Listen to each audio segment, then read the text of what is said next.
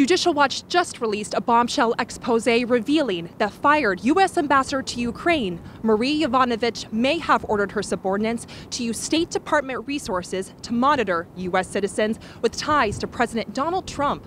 This would be a direct violation of U.S. laws and government regulations.